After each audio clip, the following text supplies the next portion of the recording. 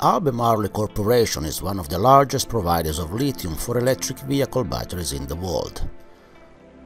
The company has mines in Chile, Australia, and also in the United States, and in particular in Silver Peak in Nevada, not too far from the Tesla Gigafactory. This is the same area where Tesla planned to start its lithium extraction activity. So, how did Albemarle, a leading company in the field, react at the announcement that Tesla will soon be a neighbor in extracting and processing lithium in Nevada. And what was the reaction to the announcement of the process Musk and his team introduced during Battery Day?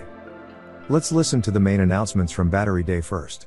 Um, uh, lithium is not like oil. There's a, a, massive amount of it pretty much everywhere.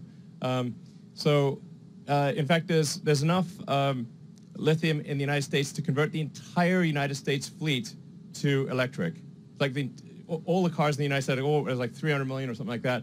Uh, every vehicle in the United States can be converted to electric using only lithium that is available in the United States. In general, Albemarle agrees with some of the statements made during Battery Day. But it is also true that mining is a complex, long term, and resource intense business. So, some of the enthusiasm should be taken into perspective, or with a pinch of salt to stay in tune with Tesla lithium extraction idea. Take a listen. Uh, you know, we agree with the the assertion from from Tesla and Elon Musk that there's there's a lot of lithium resident in the clays. In fact, that's the reason there's a resource in Silver Peak, Nevada.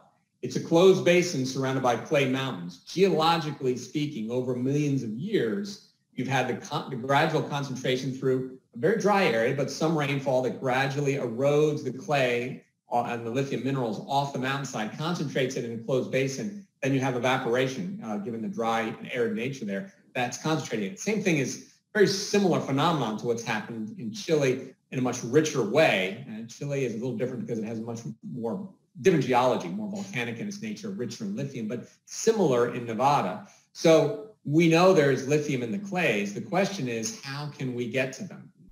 Musk has a simple solution to this issue. Um, uh, but it, it is important to say like, okay, what is the smartest way to uh, take the ore and uh, extract the lithium and, and do so in an environmentally friendly way?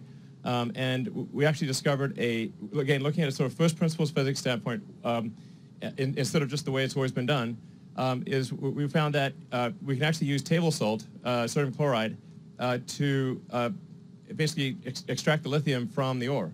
Um, and uh, this is, nobody's done this before, uh, to the best of my knowledge, nobody's done this. Um, and it's a, a, a, sort of, you know, all the elements are reusable. It's a, a very sustainable way of, of obtaining lithium. Simply mix clay with salt, put it in water, salt comes out with the lithium, done. I yeah, mean, it's, it's pretty crazy. Yeah. and this is the part that has encountered the more skeptical reaction, not so much by Albemarle, but also by other industry experts, which consider Tesla lithium extraction solution, more difficult to implement? Uh, lithium is is not is an element that is it's not in short supply. It's it's its supply in a concentrated form is in short supply, if that makes sense. Meaning it's in the ocean water, but it's not at economic quantities to be able to extract from the ocean water. It is in clays, but not at the concentration level that it is in continental brines or in spodumene hard rock. So the, the trick with clays is understanding what technology can be brought to bear to overcome the inherent disadvantage of more dilute concentration as it sits in the clays in Nevada. We believe as the only operator, uh, uh, resource-based operator in the U.S. today and operating in Nevada in an area that is benefit in a resource that has benefited from clays being resident, that we should look at more the, the lithium that got into the resource was was natural. What synthetic ways we can get to the lithium in those clays, but it's going to take process technology. We've got a lot of different ways we extract lithium. We're going to have to bring that to bear to see if we can make value to at this point. Um, we, we cannot put a number on it. We cannot promise that it'll be there. But given the demand for lithium, we owe it to the industry to try, and we're, we're the best position, we believe, to do it because we're the operator there in Nevada. Albemarle plans to double the production of lithium by 2025. Other companies have a presence in the region, and more are applying for a license. The problem is that it takes time to start a mining business. Even a company the size of Tesla will take at least three years before it can see some results.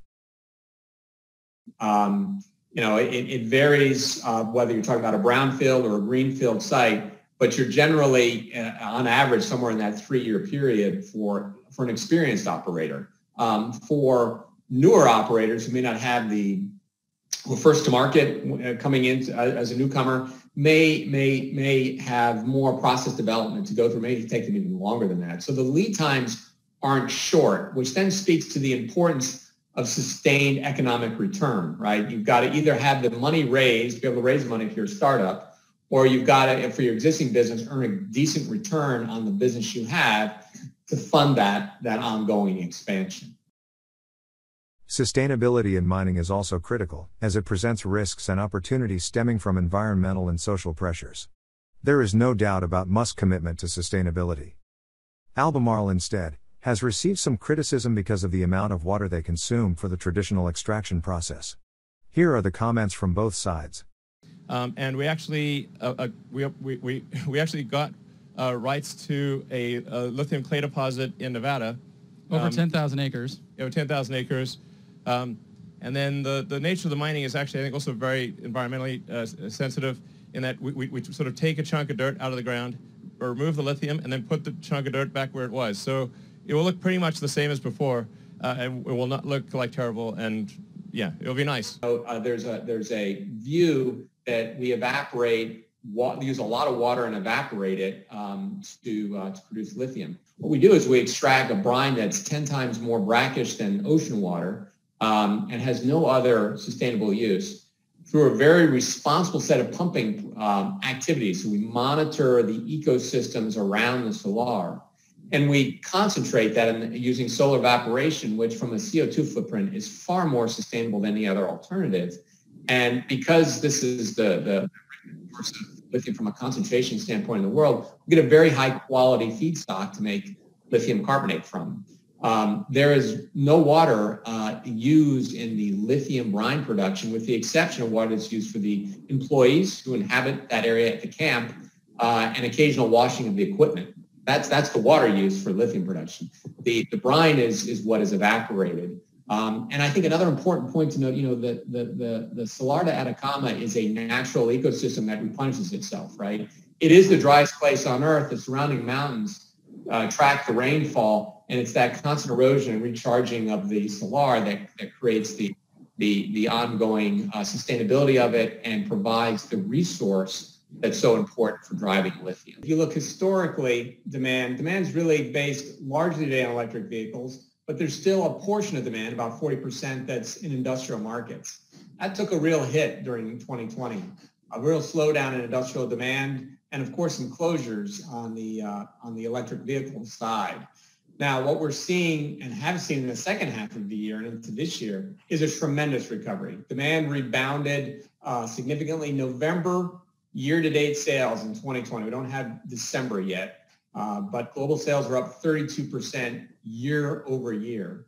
Uh, that's sort of putting us back on a trajectory that we had anticipated of what we view as a million metric tons uh, and we, we put this in a unit called lithium carbonate equivalents by 2025. That's off a base of what we think in 2020, when all the dust settles, will be under 300,000 metric tons. So that's a, almost a fourfold growth um, in the next five years, which will continue um, in, from 25 to 30, we believe. So really strong growth we're seeing, largely based on the back of incentives um, in Europe, China, and to a lesser degree in the U.S. Uh, following the pandemic to really incentivize EV growth.